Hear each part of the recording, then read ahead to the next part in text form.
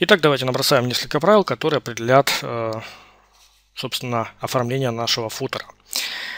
Э, давайте начнем с фонового цвета, как всегда. Э, значит, фоновый цвет для нашего футера определим. Вот он у нас 34, 34, 34. Скопируем. И давайте писать. Значит, здесь поставим комментарий.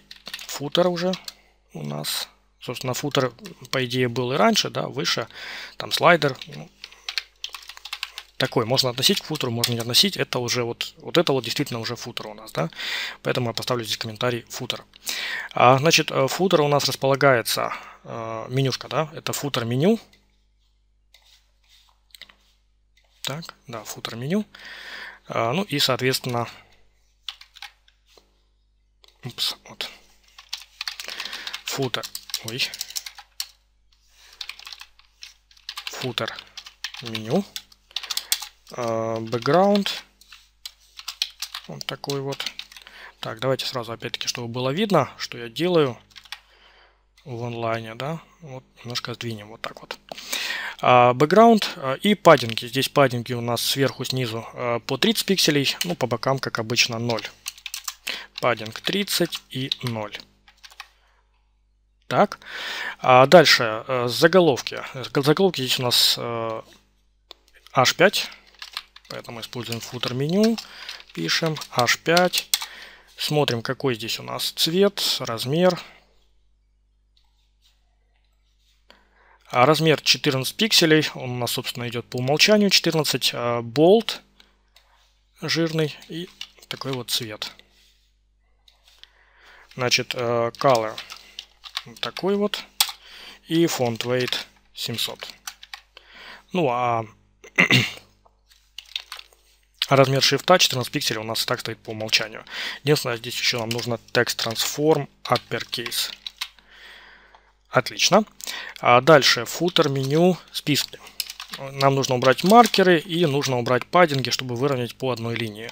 А, кстати, чтобы убрать маркеры, как вы помните, есть класс специальный в Bootstrap, э, который мы можем добавить к списку а, для того, чтобы убрать маркеры. Да? Ну, я не хочу добавлять лишний класс, а, поскольку я могу, я и так буду оформлять футер меню, э, списки, да, и поэтому мне несложно написать list style none, да, чтобы убрать вот эти вот самые маркеры, вместо того, чтобы лепить еще один класс. Вот. Ну, это мое мнение. Вы можете добавить этот класс. Мы его с вами использовали, по-моему, в теории. Вот. Я этого делать просто уже не буду. Так, и паддинг 0. Отлично.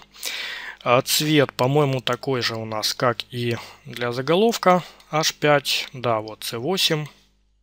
Размер 14, регуляр. так, футер меню UL ли А. Цвет вот такой вот. Так, ну единственное, мне кажется, здесь побольше отступы. 22.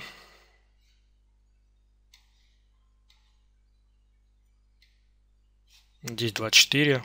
Тоже видим, да, есть все-таки недоработки в рисовании макета. Здесь э, line height 24, здесь 22. Ну, давайте поставим э, line height 22 пикселя. Ну, нормально вроде как. Можете 24 поставить, можете 22. Так, хорошо. С этим нормально. Э, картинки у нас тоже нормально расположились. А, с адаптивностью мы чуть позже разберемся э, и переходим к копирайту. Да? А, значит, э, цвет, по-моему, у нас бэкграунд здесь беленький. Так, да, FF, F. Значит, это footer, copyright, copyright, э, background, FFF, Вот он, да. И паддинги. Э, паддинги э, по 25 пикселей здесь у нас сверху снизу. И э, по нулям слева-справа. Так, паддинг 25 и и 0. Во, чудесно. Ну и нам нужно разместить вот это вот по левому краю, в принципе оно по левому и размещено, а картинки по правому краю. Это можно сделать добавлением класса для картинок text right.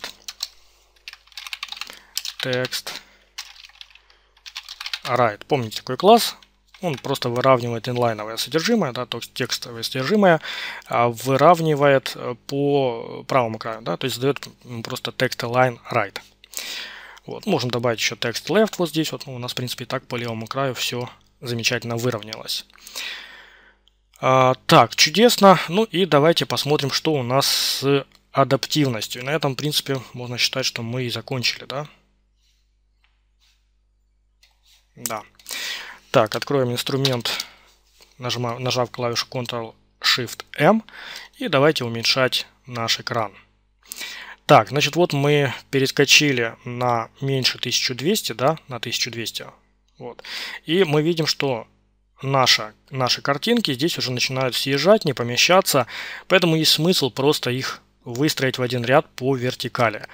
А картинок у нас, благо, немного, и поэтому они э, примерно займут такую же высоту, как менюшки. Да, сравняются по высоте, и это будет, в общем-то, нормально смотреться. Так, картинки у нас это класс Social Icons на 1200. Вот наша максимальная ширина. Мы устанавливаем класс Social Icons, внутри него EMG. И каждую EMG делаем блочным элементом. Display блок, вот. Так, ну и какой-нибудь небольшой отступ задать, чисто символический, допустим, margin bot там 3 пикселя. Просто чтобы видно было, что они не слиплись кучу, а так отделены друг от друга, да? Так, здесь нормально, здесь нормально. Хорошо, идем дальше. Так, вот мы переползли отметку 992 пикселя и наши менюшки, в общем-то, выстроились в одну линию, и это смотрится не очень хорошо. Не очень хорошо. Давайте мы их расположим в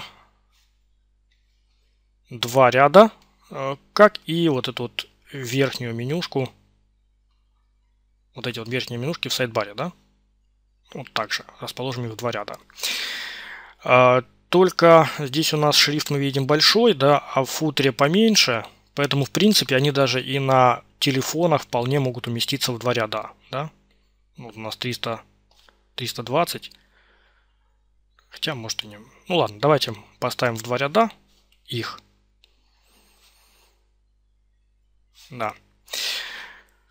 Так, а, возвращаемся в верстку. Вот они наши менюшки. Каждая обернута в call md3. И добавляем к этому call md3. Давайте call xs6.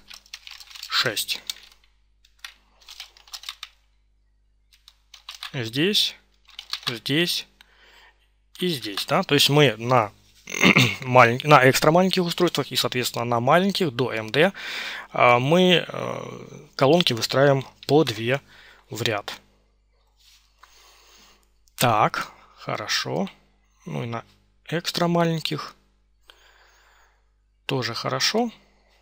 Сейчас мы их только доведем до ума и будет совсем отлично. Ну, как по мне, можно и на 320, да, оставить их как есть.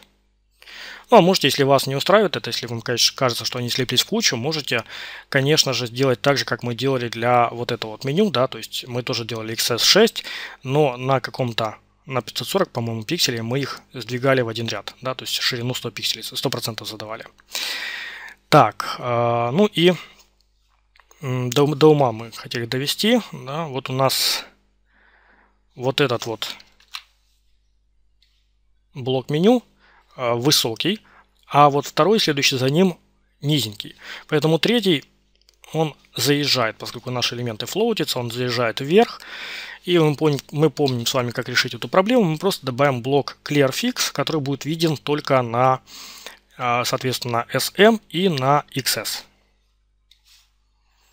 Так, это мы делаем после второй нашей менюшки, где э, должно сбрасываться обтекание, да? Значит, э, класс clearFix и добавляем э, видимость на call, так, visible, да? Точнее, вот так вот visible. Э, как там пишется? По-моему, XS. Сейчас проверим. Уже не помню. XS блок и visible SM блок. Так, проверим. А, вот, правильно все сделали мы. Не ошиблись. Так, первая менюшка, вторая, третья, четвертая. Отлично. И на 320. Ну вот, в принципе, нормально, как мне кажется, они выстроились. Как мне кажется, нормально. Так, что еще хотелось бы сделать, это сделать ссылки блочными элементами, да, чтобы не на мобильных не тыкать пальцем, попадать, пытаясь попасть по ссылке, да, а можно было провести где-нибудь вот здесь вот тыкнуть, и, соответственно, нажалась бы нужная ссылка, да. Ну, в общем, как, как это делается на мобильных устройствах, да, хотелось бы. Так, э, для этого наши ссылки, вот она, элемент, э, менюшка съезжает у нас на 992, и, соответственно, вот мы здесь это добавляем. Display блок. Вот так вот. Ну вот, да, видим, у нас ездят ссылочки. Хорошо. Так, и, э, пожалуй, на 992 картинки мы опять можем выстроить в ряд. Да?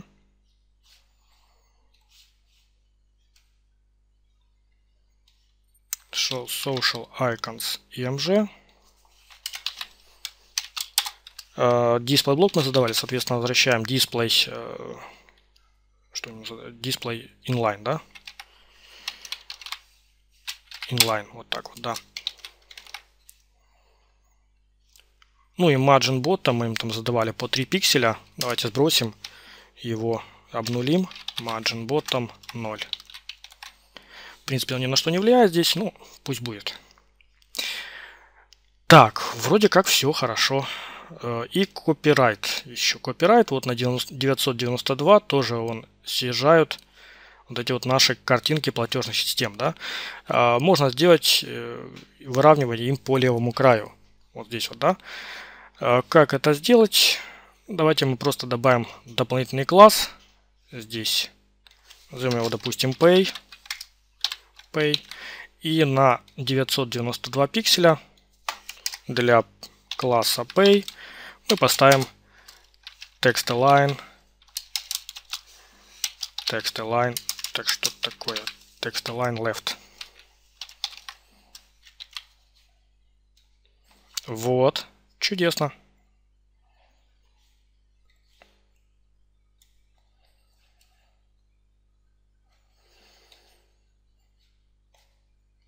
Так, ну что ж, как мне кажется, мы можем с этим макетом э, попрощаться. Мы его успешно сверстали. Все работает, все замечательно. Давайте посмотрим еще, как он ведет себя при масштабировании. Просто отлично. Так, ну что ж, все, как видите, используя фреймворк Bootstrap, мы даже, в общем-то, с э, небольшими знаниями верстки, не особо глубокими знаниями верстки, мы можем э, легко сверстать аккуратный, ровный э, макет сайта, где ни один элемент не вылазит за пределы контейнера, где они вот выстраиваются в один рядок, что заголовки, что товары, да, что вот содержимое сайт-бара, что вообще все содержимое нашего сайта, видите, все оно красиво, аккуратно выстроены в один ряд. Представьте, если бы мы не использовали фреймворк, это опять-таки я возвращаюсь к похвалам, которые я уже озвучивал ранее, да, вот, ну, что поделать, фреймворк, что есть от него, не заберешь, да, то, что у него есть. Вот он так вот позволяет легко верстать красивые и действительно ровненькие, аккуратненькие сайты. Все, значит, э, с этим шаблоном мы с вами закончили, с интернет-магазином, да. Ну и э, следующий, следующий шаблон, который мы сверстаем в следующей части, в очередной части нашего курса, это будет шаблон продающей страницы, landing page, так называемый. вот, или посадочная страница, да, landing page. А, и там тоже мы будем использовать, конечно же, фреймворк Bootstrap. Итак, с этой частью мы закончили и жду вас в следующей части.